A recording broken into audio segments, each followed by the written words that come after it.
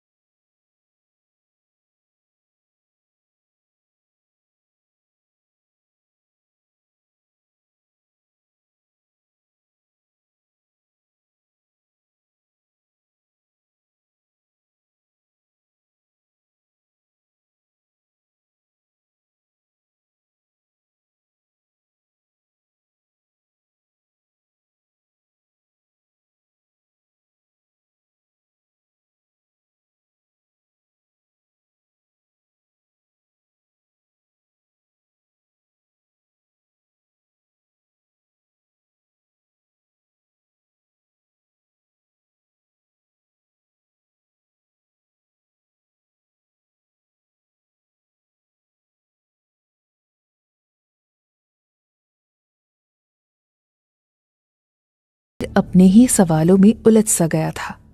ना तो उसे कलकी के बारे में सब पता था, ना उस लड़की की कोई खबर थी, और ना ही शिवा की।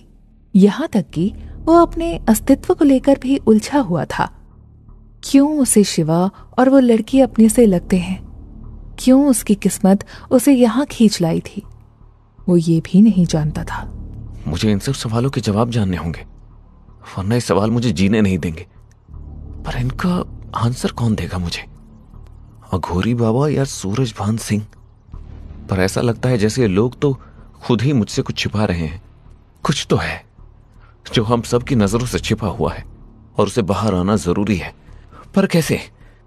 वो इन सवालों की तह तक जाने के बारे में ही सोच रहा था कि अचानक उसके दिमाग में एक विचार कौन था। कहीं वो रूही तो उस लड़की के रूप में मेरे सपने में आकर मुझे आरोही से दूर करने की कोशिश तो नहीं कर रही?